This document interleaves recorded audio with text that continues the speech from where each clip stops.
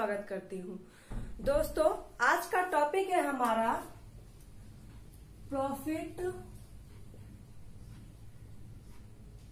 And loss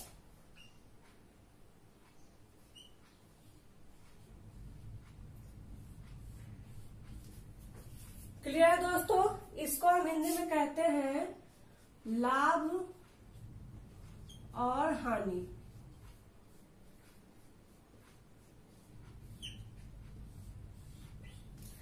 लाभ हानि के बारे में दोस्तों हमने बचपन से सुना है। हम कोई भी सामान लाते हैं या फिर कहीं जाते हैं तो हमेशा सुना था कि हमें आज लाभ हुआ या हानि हुआ, है ना? प्रॉफिट हुआ, हमें लॉस हुआ। जैसे कि सबके घर में बिजनेसमैन लोग होते हैं, कोई सामान खरीदते हैं, बेचते हैं तो हम जब कोई भी कोई भी काम करते हैं उसमें हम अपना लाभ ढूंढते ज़रूर है और हानि पे काम करना बहुत ही कम पसंद करते हैं। तो ये बहुत ही इम्पोर्टेंट टॉपिक है हमारा, ये हमारे आईटीआई के लेवल पे भी। और बेसिकली मैथ में ये बहुत ही इंपॉर्टेंट टॉपिक है। ये हमारे हर कम्पिटेटिव एग्ज़ाम में पूछे जाते हैं। तो देखिए दोस्तों, इसमें हमारी कुछ मुख्य चीज़ें हैं। जैसे सबसे पहले हमारा आता है क्रय मूल्य।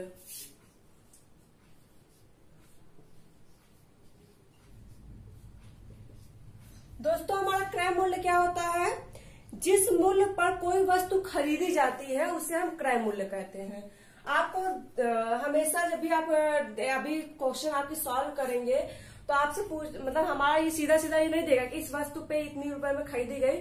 सीधा कहेगा कि आपका क्रय मूल्य इतना है है ना? तो क्रय मूल्य हमारा क्या होता है? जिस मूल्य पर कोई वस्तु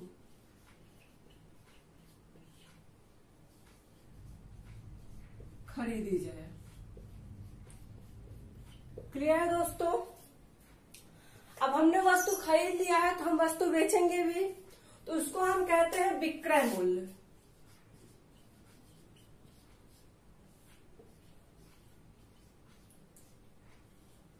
विक्रय मूल्य क्या है हमारा दोस्तों?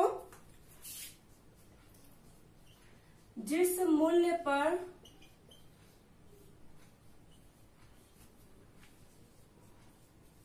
कोई वस्तु बेची जाए।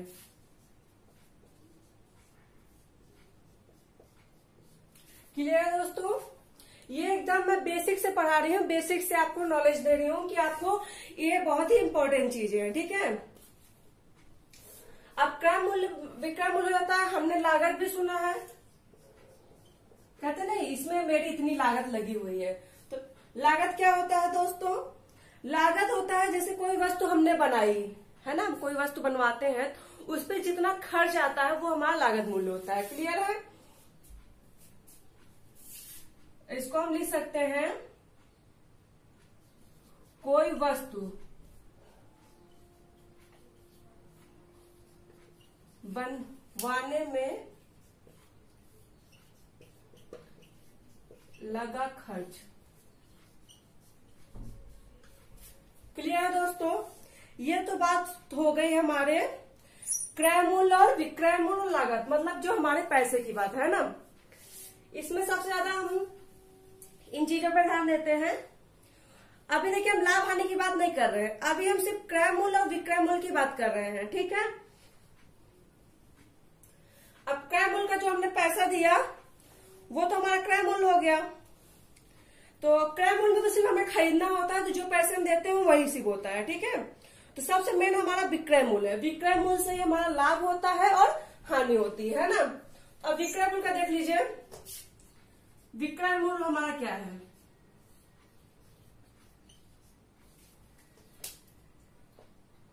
क्रय मूल्य प्लस लाभ। क्लियर दोस्तों? ऊपर वाला इरेज कर दू, आप लोग नोट कर लीजिएगा।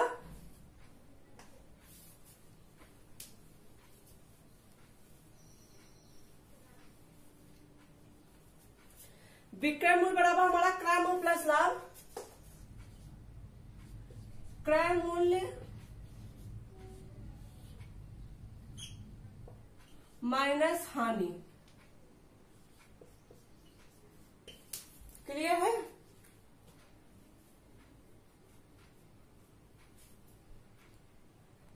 हानि होगा। मतलब कि जो हानि हुई तो क्रय, अगर विक्रय मूल्य से क्रय मूल्य कम रहता है, तब हमारी हानि होती ना। तो यहाँ प्लस माइनस दोनों हो सकता है। कि प्लस या माइनस क्या? जैसे कोई विक्रय मूल्य हमारा सौ रुपए है तो हम अस्सी रुपए में खरीदे, है ना? अस्सी रुपए में खरीदे और सौ रुपए में बेचा। इसमें तो हमारा लाभ हो गया, है ना? और यही अगर हम अस्सी रुपए में बेचते और सौ रुपए में खरीदते तो हमारा हानि हो जाता। इसको आप फॉर्मूले में ना सोच के फॉर्मूला मत याद कीजिए। आप नॉर्मली इसको समझिए कि लाभ, हानि हमारा है क्या। अगर हम कोई वस्तु ज़्यादा मूल्य में खरीदते हैं और कम में बेचते हैं तो हानि हो जाएगी। और कोई वस्तु कम में मूल्य में खरीद के ज़्यादा में बेचते हैं तो हमारा लाभ होगा, है ना। क्लियर है दोस्तों? इतनी बातें आपको समझ आ गई? चलिए। अब हम लाभ और हानि की बात करते हैं। देखिए दोस्तों, हमने अभी तक बातें की क्रय मूल्य और विक्रय मूल्य की। अब देखिए, कुल लाभ कितना होता है? अगर हमको लाभ निकालने के लिए कह दिया जाए, कुल लाभ तो हम कैसे निकालेंगे? हम लाभ कैसे निकालेंगे? विक्रय मूल्य, जिस मूल्य पर हमने वस्तु को बेची, माइनस क्रय मूल्य। जिस मूल्य पर हमने वस्तु को खरीदी थी। क्लियर है? कुल लाभ हमारा कितना हो गया? विक्रय मूल्य माइनस क्रय मूल्य। ये एक फॉर्मूले की तरह है, इसलिए आप लोग ध्यान रखिएगा। और नोट भी कर लीजिए। अगर हमसे कुल हानि कहे कुल हानि हम कैसे निकालेंगे?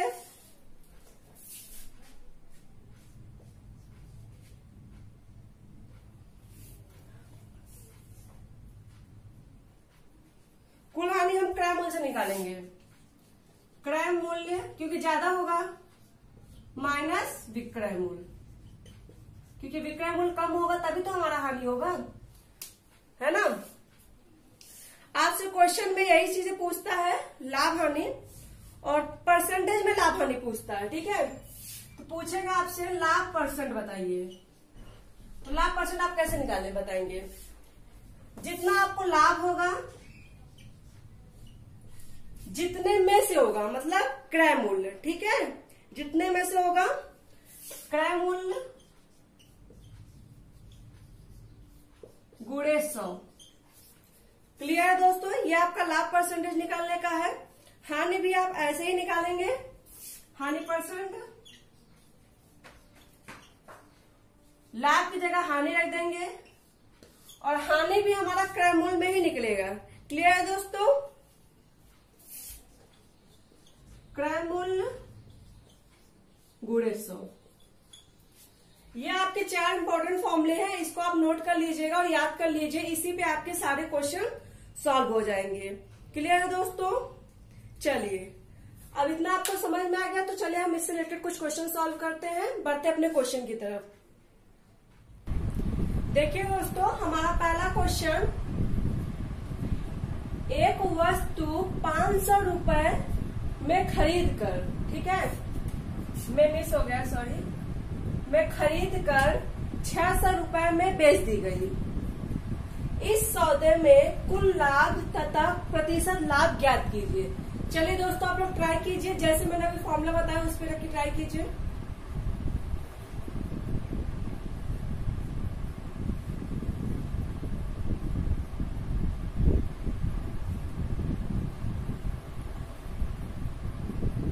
चलिए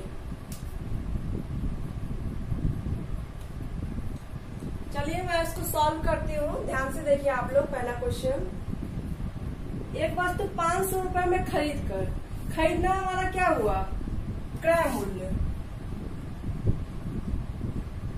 क्रय मूल्य बराबर पाँच सौ रुपए। क्लियर दोस्तों, फिर कह रहा छह सौ रुपये में बेच दी गई। विक्रय मूल्य हमारा कितना है? विक्रय मूल्य बराबर छह सौ रुपये क्लियर है दोस्तों। अभी मैंने बताया था कि अब पूछ इस सौदे में कुल लाभ कितना है। पहले ये देख लेते हैं, फिर प्रतिशत लाभ निकालेंगे। कुल लाभ निकालने के लिए मैंने अभी बताया था, कुल लाभ बराबर हमारा होता है विक्रय मूल्य माइनस क्रय मूल्य।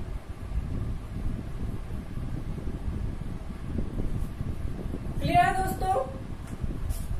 अब हमारा विक्रय मूल्य कितना है? 600 माइनस क्रय मूल्य कितना है? 500 टोटल हमारा कितना आ गया? 100 तो कुल लाभ हमारा कितना आ गया? 100 क्लियर है दोस्तों? चलिए। अब दूसरा क्या कह रहा है आपसे? प्रतिशत लाभ निकालना है। अभी मैंने बताया था,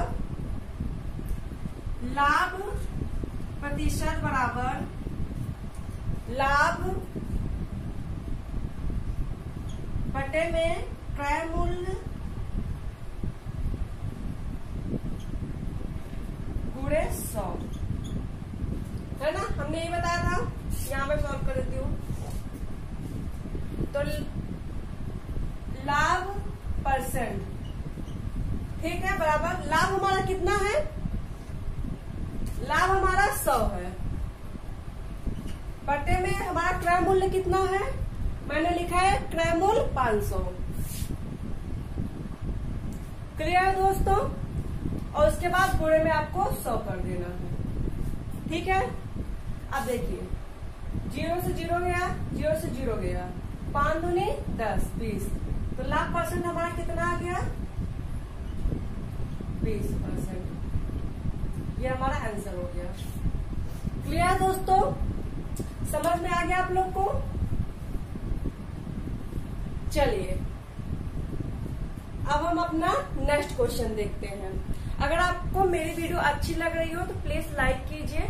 जिन्होंने अभी तक हमारे चैनल को सब्सक्राइब नहीं किया, वो प्लीज़ सब्सक्राइब कर लीजिए। अपने दोस्तों के साथ भी शेयर कीजिए। आज ये टॉपिक जो मैं आपको पढ़ा रही है बहुत ही इम्पोर्टेंट है आपके एग्ज़ाम के व्यू से। चाहे आप कंपटीशन का एग्ज़ाम दीजिए, चाहे आप आईटीआई का एग्ज़ाम दीजिए।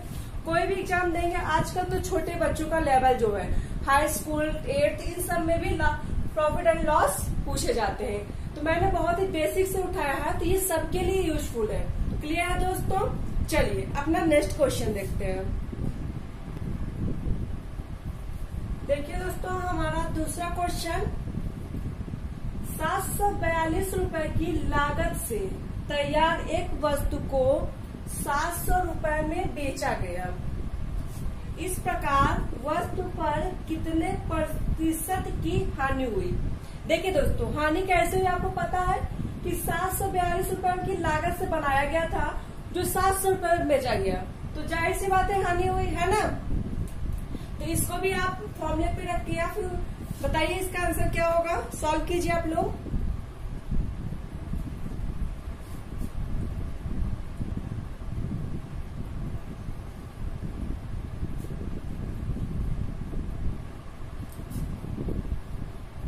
चलिए इसको सॉल्व करते हैं हम। सात सौ बयालीस रुपये की लागत से तैयार तैयार किया गया मतलब कि खरीदा गया, जिसका हम क्रय मूल्य सात सौ बयालीस हो गया, ठीक है? फिर आगे कह रहा है कि एक वस्तु को सात सौ रुपये में बेचा गया तो विक्रय मूल्य हमारा कितना हो गया? मूल्य हमारा, सात सौ रुपये हो गया, ठीक है? तो अब हम अब हम क्या निकालेंगे? हानि निकालेंगे? हानि पैसे हमसे पूछा है। हानि बराबर हमने क्या निकाला था? हानि, कुल हानि, हमने फॉर्मूला आपको बताया था, क्रय मूल्य माइनस विक्रय मूल्य।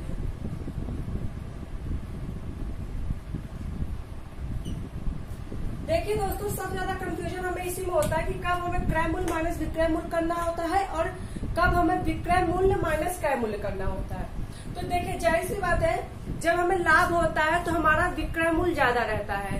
तो विक्रय मूल्य माइनस क्रय मूल्य करते हैं, ठीक, लाभ में। और हानि में हमारा विक्रय मूल्य कम रहता है तो क्रय मूल्य माइनस विक्रय मूल्य करते हैं, ठीक है? क्लियर है आपको? चलिए, तब हम हानि निकालेंगे तो हमारा क्रय मूल्य कितना है? सात सौ बयालीस। और विक्रय मूल्य हमारा कितना है? सात सौ। क्लियर है? माइनस करेंगे, हमारा कितना आएगा? Forty two? Zero sorry clear है? सात सौ में सात सौ बयालीस सात सौ गया? सात सौ बीस। इतना आप लोग को समझ में आ गया? सात सौ बयालीस कैसे बच्चा हमारा? ये हमारा हानि आ गया। अब हमें क्या निकालना है? हानि प्रतिशत। है ना? तो हम यहाँ लिखते हैं हानि प्रतिशत। हानि प्रतिशत दोस्तों, हमने क्या पढ़ा था? क्या फॉर्मूला था इसका? हानि बटे में क्रय मूल्य पूरे सौ। ये फॉर्मूला मैंने आपको बताया था। अब इसी पे हम अपना रख देंगे। हानि हमारा कितना है? फोर्टी टू बयालीस क्रय मूल्य हमारा कितना है? सात सौ बयालीस? गुड़े सौ। अब इसको हम सॉल्व करेंगे। देखिए, हम सात से अगर कट करें, दो से भी करके फिर हम सात से कर सकते हैं। चलिए, दो से ही कर देते छोटे डिजिट आते हैं। दो कम दो, ओ, दो दो चार, दो कम दो। दो तीन छह, दो सत चौदह, दो कम दो। अब हम सात से कट करेंगे। सात इक्कीस, सात बचे पैंतीस सात इक्कीस। क्लियर है? अब हमारा आ जाएगा। तीन गुड़े सौ बटा फिफ्टी थ्री इसको हम लिखेंगे, हमारा हो जाएगा तीन सौ बटे फिफ्टी थ्री है ना?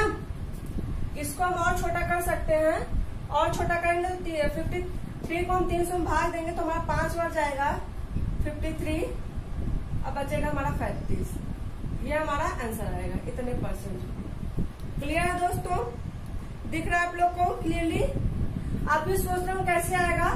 तो स्पेस नहीं, इसलिए मैंने सॉल्व नहीं किया देखिए। आप इस तरह से करेंगे। तीन सौ डिवाइडेड फिफ्टी थ्री है ना?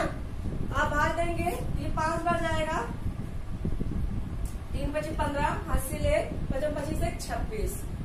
इसको माइनस करेंगे दस में से पाँच गया पाँच नौ में से तीन गया छह और छह गया तीन यहाँ ज़ीरो बच गया ठीक है? तो जो शेष बचता है वो ऊपर रहता है जो भाग पर जाता है वो बीच में रहता है और नीचे जिससे हम भाग देते हैं। तो समझ में आ गया आपको? चलिए। तो अभी हमने एक हाँ, लाभ निकालना सीखा और हानि निकालना सीखा है ना? चलिए, अब नेक्स्ट क्वेश्चन देखते हैं।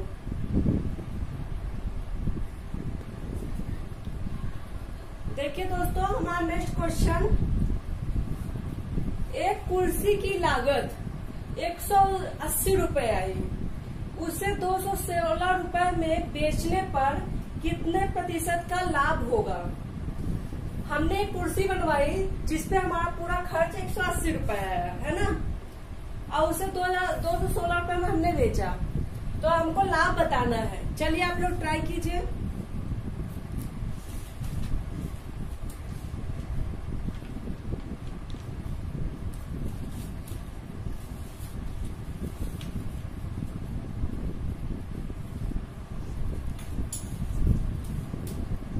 चलिए देखते हैं कैसे सॉल्व होगा पहले की तरह सॉल्व होगा लागत कितने रुपए आई तो हम इसको लिख सकते हैं क्रय मूल्य बराबर एक सौ अस्सी रुपये क्लियर है उसे दो सौ सोलह रुपए में बेचने पर मतलब विक्रय मूल्य विक्रय मूल्य दो सौ सोलह रुपये क्लियर है अब हमें लाभ निकालना है तो पहले हम लाभ परिचय निकालने से पहले हम लाभ निकालेंगे तो कुल लाभ बराबर हमारा हो जाएगा विक्रय मूल्य माइनस क्रय मूल्य। तो विक्रय मूल्य हमारा कितना है? दो सौ सोलह। माइनस क्रय मूल्य कितना है? एक सौ अस्सी। अब इसको माइनस करेंगे छ इक्कीस में था ग्यारह चार देंगे छत्तीस। ये हमारा लाभ आया, ठीक है? अब हमें लाभ प्रतिशत निकालना है। लाभ प्रतिशत का फॉर्मूला हमने क्या पढ़ा अभी? लाभ जितना आता है उसको हम ऊपर रखते हैं और नीचे हम अपना क्रय मूल्य लिखते हैं। क्लियर है? नीचे हम ना क्रय मूल्य लिखते हैं। और गुड़े में सौ। क्लियर है? अब हमारा लाभ कितना था? छत्तीस। और हमारा क्रय मूल्य कितना है? एक सौ अस्सी। गुड़े सौ। इतना समझ में आ गया आप लोग को? अब इसको हम सॉल्व करेंगे। ज़ीरो से ज़ीरो कट गया। अठारह दूनी छत्तीस। दो गुड़े दस, बीस परसेंट। ये हमारा आंसर हुआ। क्लियर दोस्तों? समझ में आ रहा है आप लोग को? तो जिसको अच्छा लग रहा हो प्लीज़ लाइक कीजिए जल्दी से। तो इतना आप लोग एकदम क्लियरली आप तो आप आसानी से लाभ और हानि निकाल सकते हैं, है ना? चलिए, अपना नेक्स्ट क्वेश्चन देखते हैं।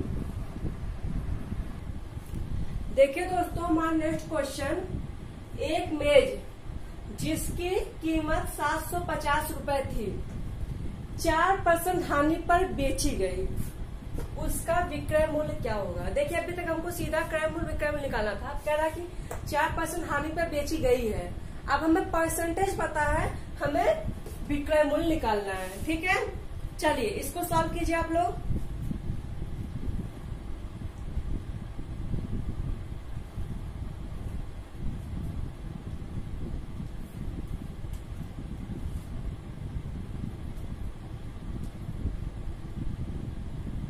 देखिए दोस्तों ये कैसे सॉल्व होगा ये दो तरीके से सॉल्व होगा है ना या तो आप इसका निकाल कर सात सौ पचास कोई भी संख्या अपने आप का सौ परसेंट होती है। इसका चार परसेंट निकाल कर आप इसमें माइनस कर दें, है ना? या तो जो हमारा रूल्स है उसको देखते हैं। हमारा क्रय मूल्य कितना है?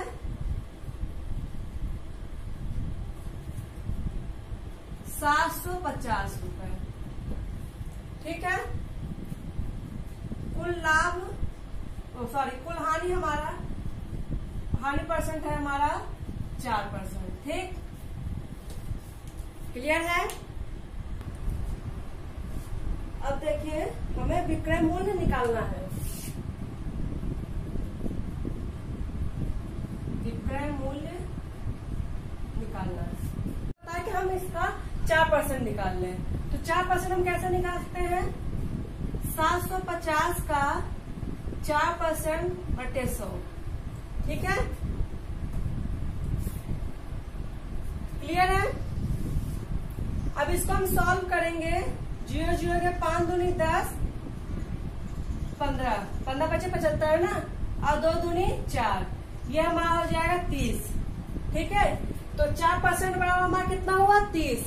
तो हम विक्रय मूल ये हमारा क्या निकला? हानि. ठीक है? हानि का मूल्य निकला. ठीक? क्रय मूल्य गुड़े, हानि प्रतिशत, बटे में सौ। इसका फॉर्मूला मैं लिख देती हूँ। हानि बराबर क्रय मूल्य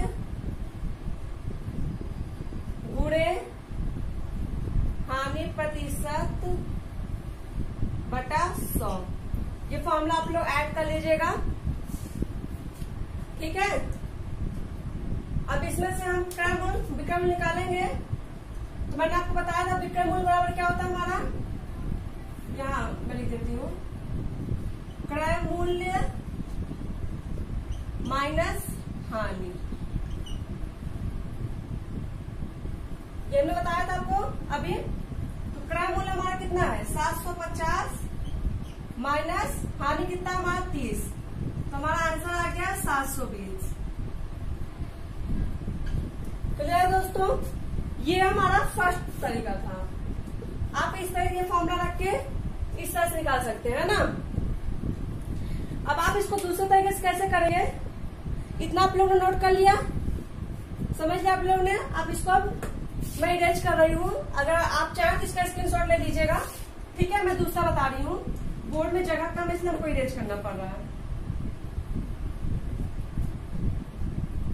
देखिए, चार परसेंट ये था, है ना?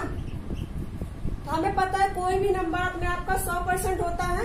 ये मैं आपको शॉर्ट बता शॉर्ट तरीके से बता रही हूँ, क्योंकि इसमें आपको दो बार करना पड़ा, है ना? इस सेकंड में आप क्या करेंगे? सात सौ पचास का ये सौ परसेंट होता है तो आप चार परसेंट माइनस कर दो तो नाइन्टी सिक्स बॉन्ड में हंड्रेड है ना? अब इसको आप कट करोगे ज़ीरो ज़ीरो पाँच दूनी दस, पंद्रह। और दो चौक आठ, दो आठ सोलह। पंद्रह गुड़े अड़तालीस। इसको आप गुड़ा करिए। पंद्रह थे एक सौ बीस का ज़ीरो। हासिल लगा बारह। पंद्रह चौक साठ, बारह, बहत्तर। ये हमारा आंसर आ गया। देखिए, इसमें आपको इतना ही कैलकुलेशन करना पड़ा। उसमें क्या था कि आप पहले हानि निकाले हो, फिर माइनस करके दो स्टेप में किए हो। ये आपका एक ही स्टेप में हो गया। तो जो आपको अच्छा लगे, आप दोनों में से कोई एक अप्लाई कर सकते हैं ना? क्लियर है, इतना समझ में आ गया आप लोग को, ये वाला क्वेश्चन इसमें मैंने क्या किया है, बस हंड्रेड को, कोई भी सौ परसेंट होता है अपने आप का नंबर उसका मैंने चार परसेंट घटा दिया, क्योंकि चार परसेंट हमारा हानि था। तो हम नाइन्टी सिक्स परसेंट पे डायरेक्ट सॉल्व कर लिए। समझ में आ गया आप लोग को? चलिए, एक लास्ट क्वेश्चन देख लेते हैं। और उम्मीद है कि मैंने जितना समझाया, आप लोग को समझ में आ गया। चलिए एक लास्ट क्वेश्चन देख लेते हैं। देखिए हमारा नेक्स्ट क्वेश्चन एक व्यक्ति ने एक एक व्यक्ति ने बारह वस्तुएँ बारह रुपए में खरीद कर, एक रुपए पच्चीस पैसे, रुपए प्रति वस्तु के भाव से बेच दी। सौदे में उसका लाभ प्रतिशत बताइए। चलिए दोस्तों, इसको सॉल्व कीजिए।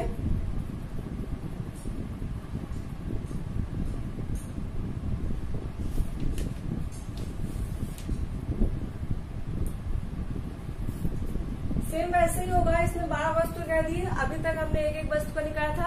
इसमें भी आप एक वस्तु का निकाल सकते हैं, चाहे तो बारह वस्तु का भी निकाल सकते हैं। आइए देखिए कैसे करना है। क्रय मूल्य पहले हम इसे बारह वस्तु दे रहा है और बारह रुपए दे रहा है। एक वस्तु कितने का होगा, वो हम निकाल लेते हैं। एक वस्तु की कीमत। बारह रुपए में बारह वस्तु। ये हमारा एक रुपए में आ गया। तो क्रय मूल्य हमारा कितना हो गया? एक रुपए। ठीक है? ये हमारा क्रय मूल्य हो गया। क्लियर है? दूसरा देखिए क्या कह रहा है, एक रुपए प्रति वस्तु की कीमत से बेच दी गई। तो हमारा विक्रय मूल्य कितना हुआ? One point two five. पहले एक रुपये पच्चीस पैसे हमारा विक्रय मूल्य हो गया। ये हमारा एक वस्तु की कीमत है। तो हमारा लाभ कितना होगा? लाभ बराबर हमारा हो जाएगा। विक्रय मूल्य माइनस क्रय मूल्य। विक्रय मूल्य हमारा कितना है? एक दशमलव दो पाँच मतलब एक रुपया पच्चीस पैसे। और क्रय मूल्य हमारा है एक रुपये। इसमें जगह पच्चीस पैसे ठीक? अब हमें लाभ प्रतिशत निकालना है। लाभ प्रतिशत। लाभ हमारा कितना है? पच्चीस पैसा। फॉर्मूला लिख देती हूँ मैं।